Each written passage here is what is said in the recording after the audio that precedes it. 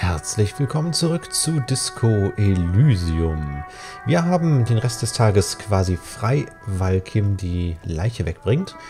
Ähm, ja, wir können uns jetzt eigentlich mal darum kümmern, äh, für Efra die Wohnungstür aufzuschließen. Das müsste ja theoretisch hier hinten auch sein, äh, diese Kellertür. Ja, das ist gut, Kono? Fuck, does Kuno care? Hm, 28 Prozent. Naja, gut. Wir gehen mal wieder raus.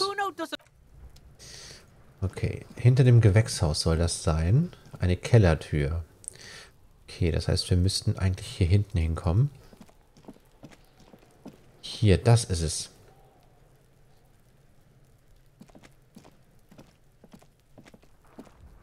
Da müssen wir irgendwie hin. Okay, mal gucken, ob wir den Weg wiederfinden. Das wäre ja eigentlich nicht schlecht. Den hatten wir schon gesprochen. Wir könnten natürlich auch mit der Tante hier unten nochmal sprechen. Äh, wie war das hier? Ne, hier war es nicht. Oder ist die auch nicht mehr da? Kann ja auch sein.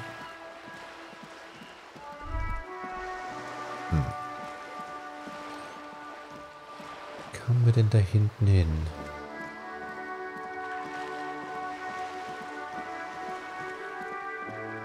Ah, hier ist...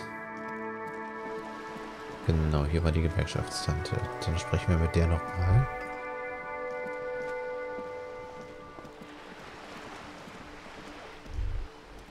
You're back. Good. What can I help you with? Übrigens, ich habe mit Efra Claire gesprochen. You have. And how did you like Mr. Clare? Tja, was sagen wir denn da? Oh, so viele Möglichkeiten.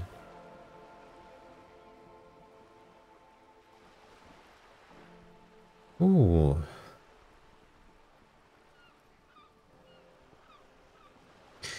Tja, was sagen wir denn da?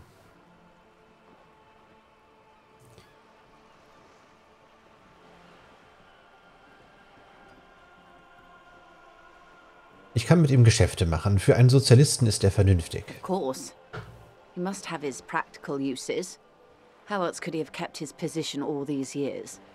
Or wait. Actually, he could have kept it with corruption.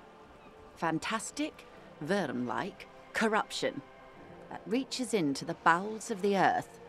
Sie blickt zum Boden und nickt wie zur Selbstbestätigung. Of course. I don't expect you to share anything he told you with me.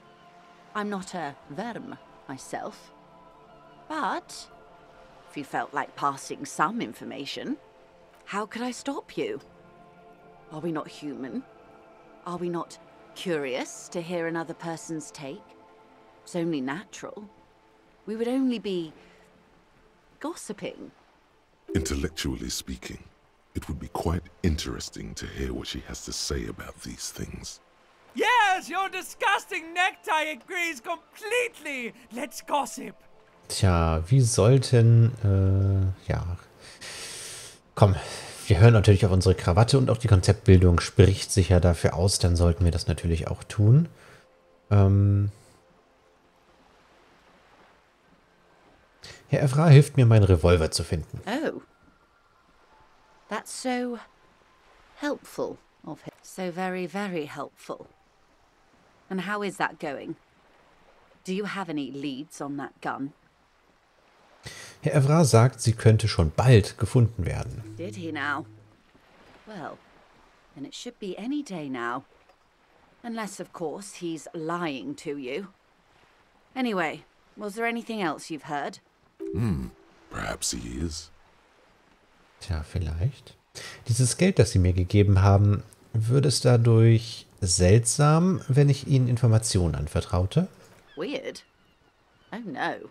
One of the positive things to come from the revolution is the unhindered exchange of information, you see, even when it comes to trade secrets. Which isn't to suggest our talks constitute corporate espionage. Even if they did, it would be fine. But they don't, since you logged the money as a donation, and this is clearly just gossip between friends. The lieutenant might have, but I don't remember you logging anything as anything, Harry. Ehrlich gesagt möchte ich mit Ihnen erstmal über etwas anderes sprechen, wenn Sie nichts dagegen haben. Of course, Detective. Should something come up later down the road, don't be afraid to drop by for a chat. Until then, is there anything I can help you with? Oh, danke, das wäre vorerst alles. Okay, viel mehr können wir da gar nicht machen. Schatten auf dem Wasser, grüne Pflanzen unter der ruhigen Oberfläche.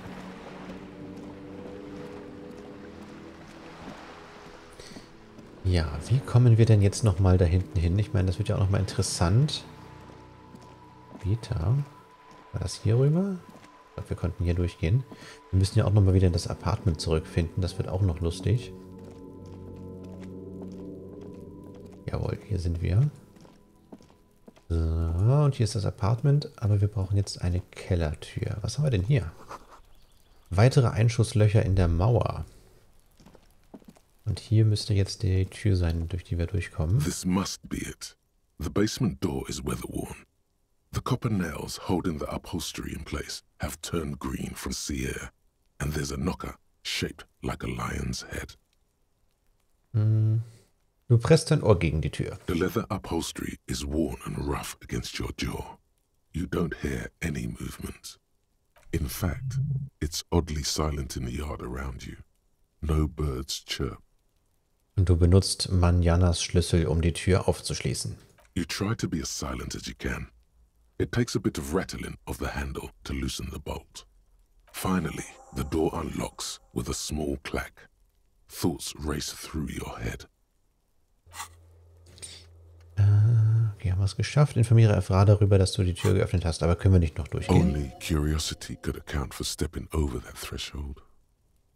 Maybe there's treasure in there. A white alligator. A fountain of quicksilver. There might be important information in the apartment. I mean, there might. Genau. Also wir müssen hier rein. Da hilft ja nichts. Also da müssen wir doch nachgucken. Ich wüsste gar nicht, wie man nicht auf die Idee kommen könnte, da reinzugucken. Ich sollte aber vielleicht trotzdem nochmal speichern. Wer weiß, sicher ist sicher. Was haben wir denn hier?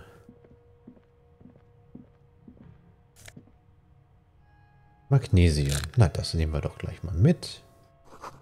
Ein kleiner Koffer voller Kleidung. Ist jemand zu Besuch? Ein geöffnetes Buch mit dem Titel Die geheime Welt der Gehstöcke. Du kannst die Wärme der roten Sonne auf der Fahne beinahe spüren. This is the flag of Revachol, the suzerainty. Was hat es mit der Sonne auf sich? This isn't just one sun, but there are little suns dancing around the big sun. This is the sevenfold sun miracle. Was ist das siebenfache Sonnenwunder? It's an optical atmospheric anomaly the first settlers saw. Happens in cold weather. Six small suns around the big one. This complex halo phenomena is how old Revachol got its flag. It is but one of the many strange optic atmospheric phenomenon of this wondrous archipelago. You're sure you once saw sundogs in your youth and blue flares. Hm. Du verbeugst dich vor der Flagge. The flag accepts your honorable salute with quiet dignity. Sehr schön. Oh, was haben wir denn hier? Ein Hemd, was uns ein Logik bringt. Okay.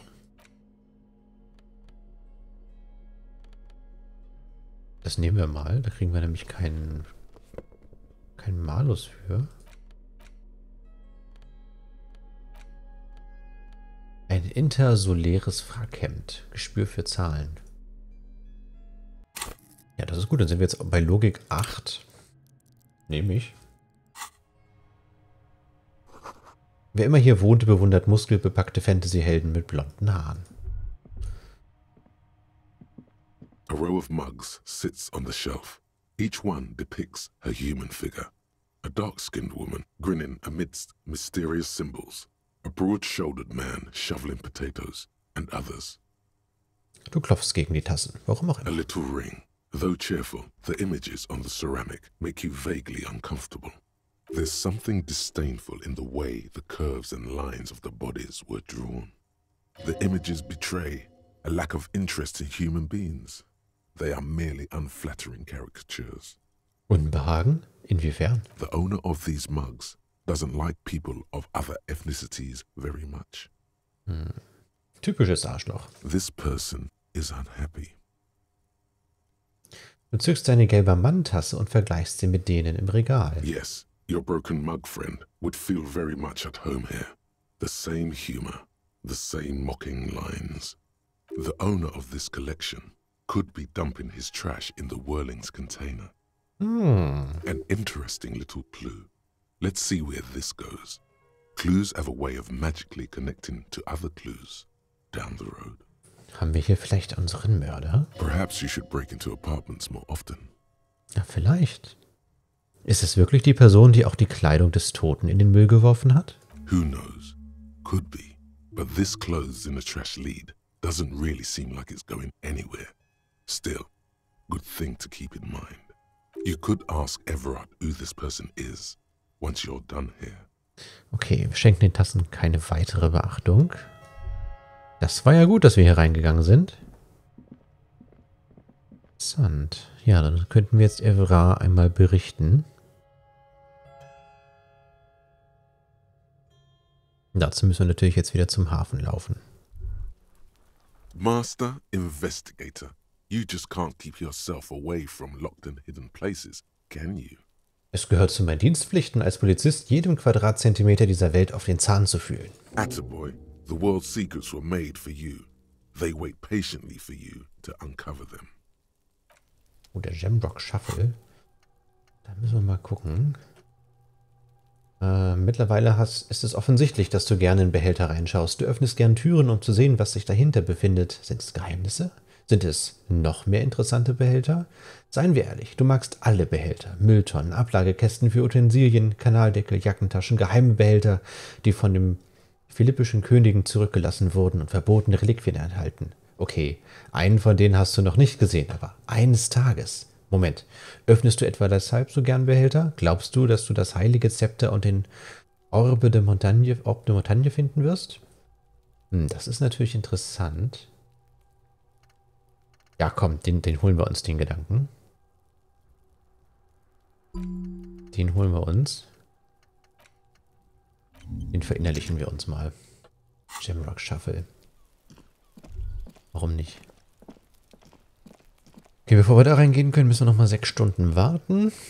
Das werden wir diese Nacht aber auf jeden Fall tun. Äh, dann geht es jetzt zurück zum... Hier. Den Fähigkeitspunkt habe ich jetzt noch nicht mehr.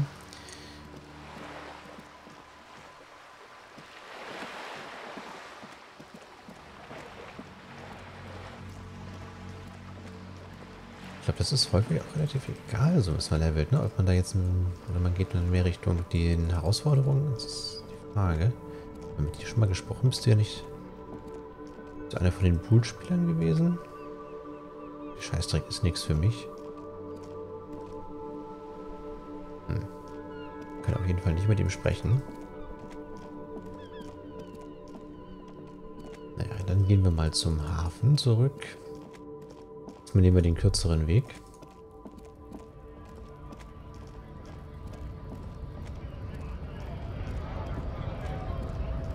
Hier durch. Ah, zurück zu Evra. Mal Evra ging es, glaube ich, da lang.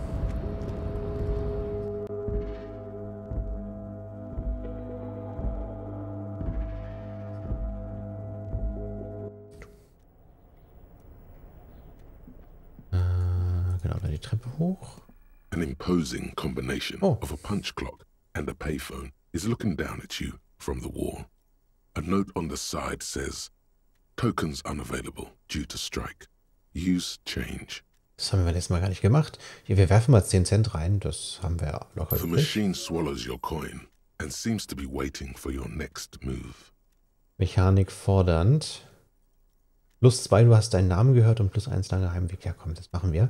Du lässt dein motorisches Gedächtnis eine zufällige Nummer wählen. Your fingers run over the dial pad. 005. That's the dialing code for Revachol. 4952. And a moment of hesitation before entering the final numbers. 993. Calling.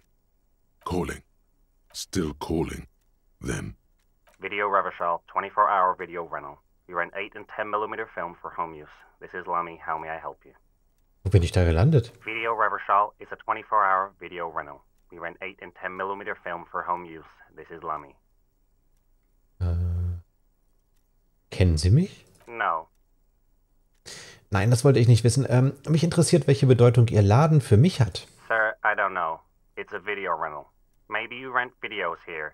Warum habe ich Sie angerufen? Maybe you called to extend your rental period.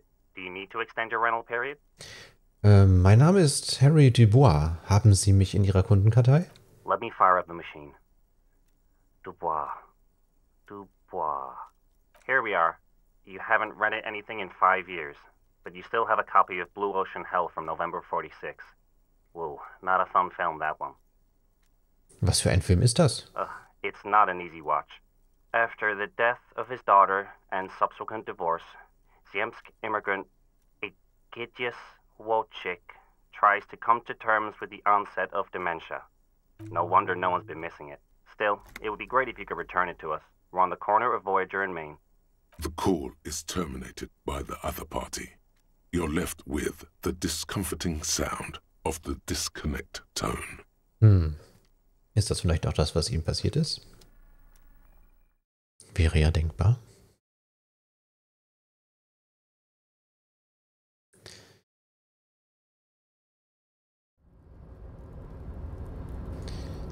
Zip, dann hier runter.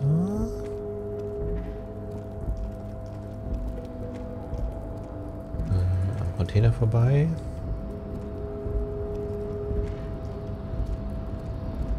Hier rum. Dann müssen wir mit dem Container vorbei. Und hier ging es dann, glaube ich, irgendwo rein. Ne, müssen wir noch hier rum. Genau, da geht's rein. Vielleicht kriegen wir jetzt ja unsere Pistole wieder. Das wäre ja nicht schlecht.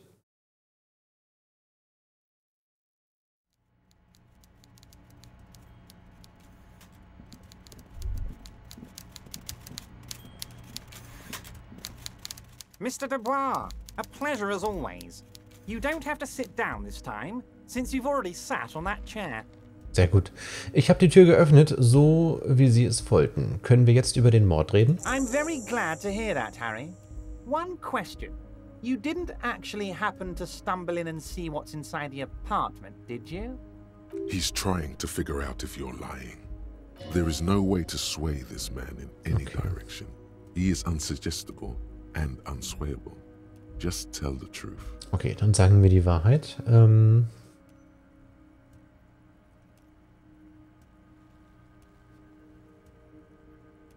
ich war in der Wohnung. An der Wand hing die glorreiche Flagge des Suzerains Revachol. The Weasel is no true patriot, Harry. He prays every night for the downfall of the Union and spits upon the name of the King. He was testing you, and you succeeded. Now let's get down to brass tacks. It's time for men like me and you to figure out who's killed who and why. Real police work is gonna start happening now. I promise you, Harry, this is gonna be good. Es gab da eine Sammlung kolonialer Tassen und im Müll zusammen mit den Sachen des Gehängten habe ich eine ähnliche Tasse gefunden. Racist mugs in the trash and in the apartment? You guys are just light years ahead of me. I have so much confidence in the ability of your organization. I'm relieved you're doing this and leaving me to do what I do best helping people. With the power of politics. Glauben Sie, dass dieser Schnüffler etwas mit meinem Fall zu tun hat? Oh, no, no, no, no. I don't cross paths like that. All I want is for you to succeed in your investigation. I would never complicate things for you. Oddly, it seems to be true. Hm.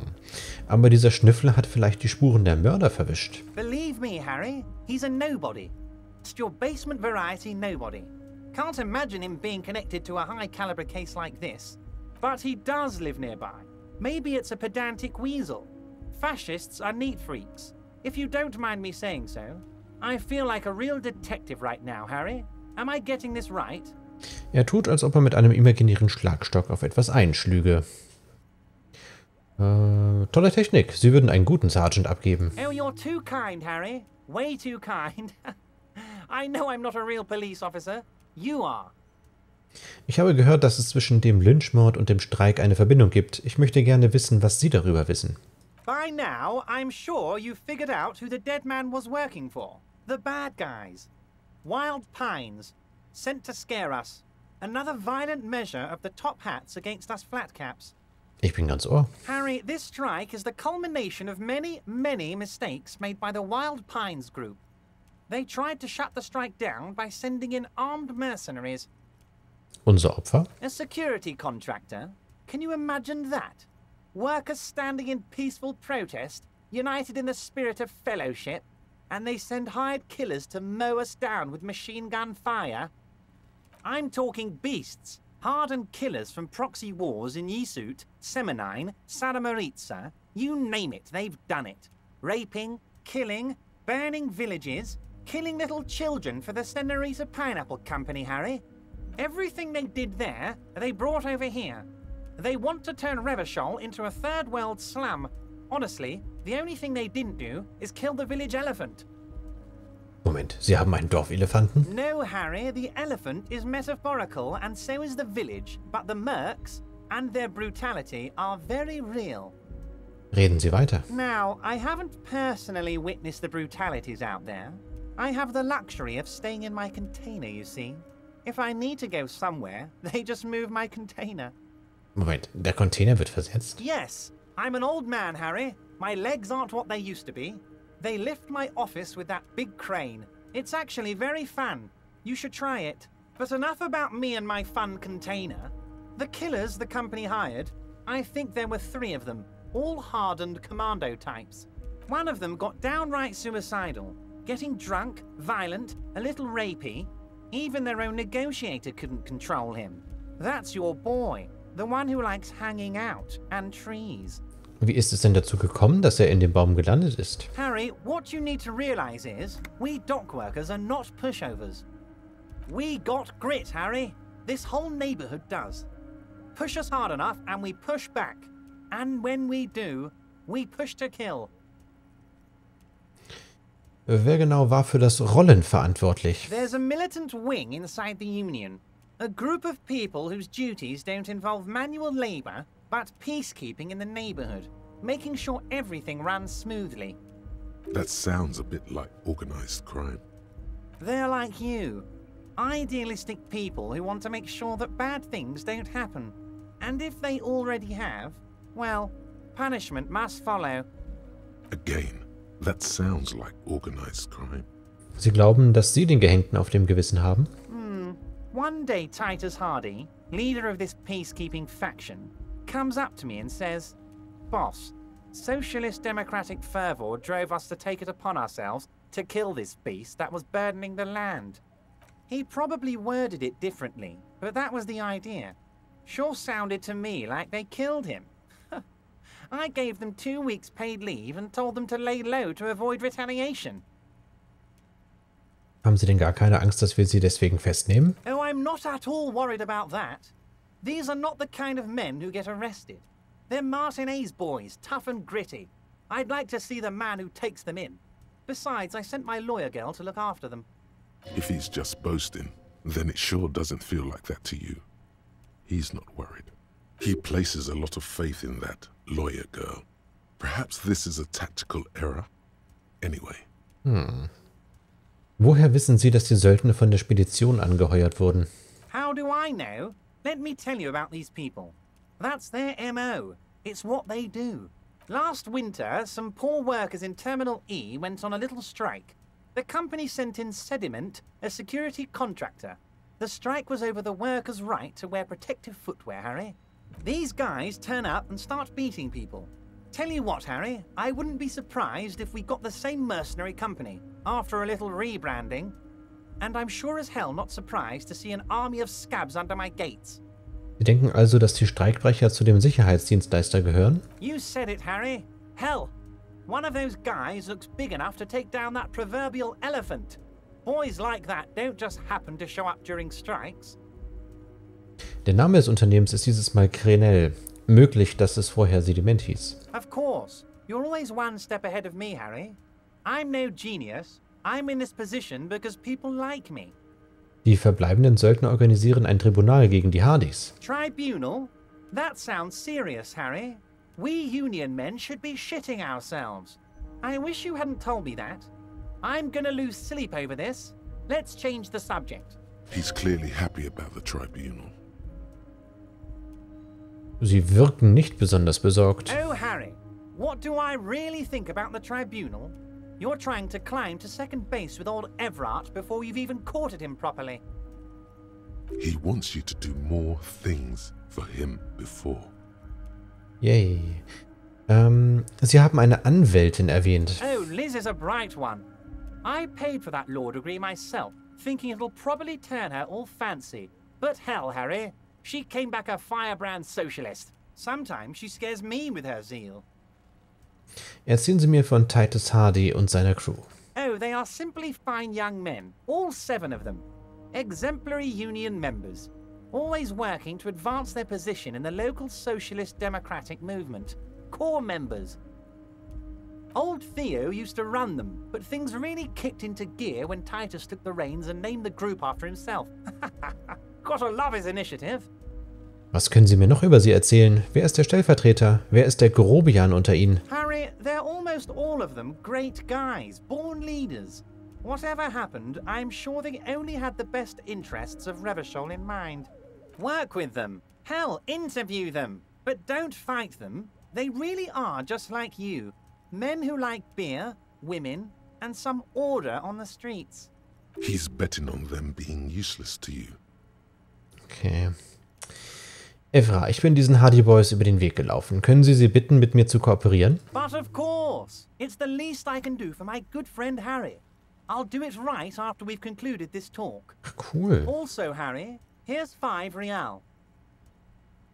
Moment, warum geben Sie die mir? I'm not giving you anything.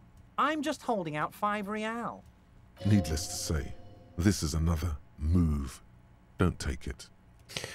Das brauche ich nicht. Ich wollte nur, dass Sie, mit, dass Sie mir mit den Hardy Boys helfen. Oh, I wasn't offering it to you, just holding it out there. But I'm willing to share information. Was there anything else? Das war eine gute Unterhaltung. Schließen wir das Thema fürs Erste ab. Was it a good talk? I'm not sure we made much headway here. I was hoping we'd bust the case wide open. Heck, I even wanted to tell you what I really want to achieve with the strike. I don't know what happened, Harry. I wanted you to feel like Mr. Martinez. And of course, I also wanted you to find your gun. But it's like I can't completely trust you. Yet. Noch nicht? Yes, Harry. It's like I can't fully trust you if you're not a man of the left. I want to, but I just can't. A man of the left. So you have to be a social democrat. He's been hurt too much in the past by men who aren't social democrats. Tja.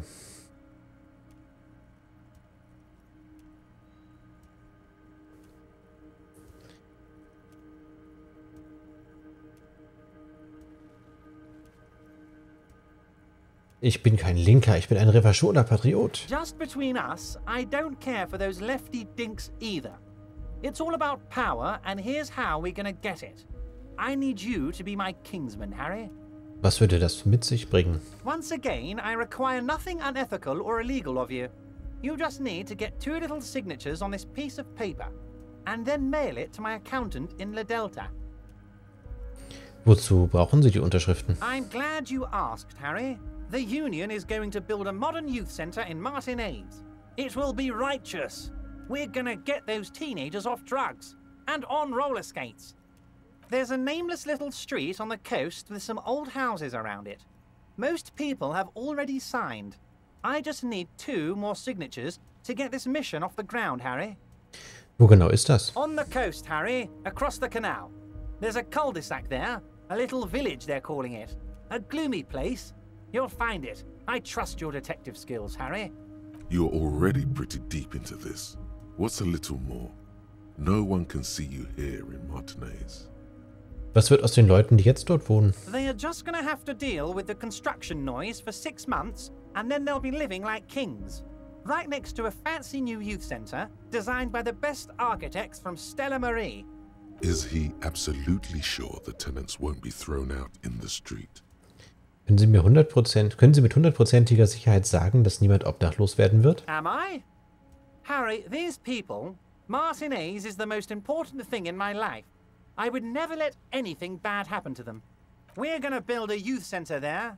The value of their properties goes up, and kids have a place to play in. I'm looking out for these people, not pulling the rug from under them, Harry. I'm looking out for all of Martinez, not just the harbour. He means it. Na dann, äh, na gut. Wenn ich zufällig do gerade dort bin, kann ich Sie fragen. You bring joy to my heart, Harry. Such a pleasure to be working with you. Here, Erreicht ihr einen offenen weißen Umschlag. You need to get signatures from Isabel Sadie and Lillian Carter. The cul-de-sac is right past the pawn shop and across the canal. I hear there is some trouble with the waterlock, but they should fix it by Wednesday morning. Once you have the signatures, mail this to 13022 La Rocca in La Delta. Then I'll know you're a real Kingsman and a patriot. Evra, ich werde jetzt gehen, aber vielleicht unterhalten wir uns später noch einmal. See you soon, Debardeur. Just kidding, but not too much. Gut, wir haben den weißen Umschlag bekommen. Und wir können auch mit ihm interagieren. Was können wir take noch the machen? legal documents out of the envelope. A 12 to 40 month construction period and the zoning plan in the addendum. Du siehst dir den Bebauungsplan an. The youth center cuts into the ocean like the bow of some great modern ship. Apparently, it's going to cover most, if not all, of the street and the square between the existing houses. It's three stories tall. It's going to be awfully close to the already existing buildings, almost wall to wall, practically integrating them into the youth center. This is either an ominous or cool architectural choice. Hard to say. My money is on cool. Looks like a cubic pyrite. Hmm. Okay. Ähm, du versuchst ein Schlupfloch in der Vereinbarung zu finden. There is no loophole. The simple truth is the current residents are going to lose their street access, and for the next 12 to 40 months, their lives will be dominated by constant construction noise right next door. Tja. Ich schätze, das ist einfach der Preis, den man für Fortschritt zahlen muss. How very rational of you. Rational of Everard, too. He will, no doubt, benefit from the village being abandoned. Du steckst die Dokumente wieder zurück in den Umschlag. Ja, da werden wir den armen Leuten wohl ihren Wohnort wegnehmen. Ärgerlich. Besorge Everard zwei Unterschriften. Gut. Äh, dann würde ich sagen, vielen Dank fürs Zuschauen und wir sehen uns dann in der nächsten Folge wieder. Mal gucken, was wir dann dort so machen. Bis dann.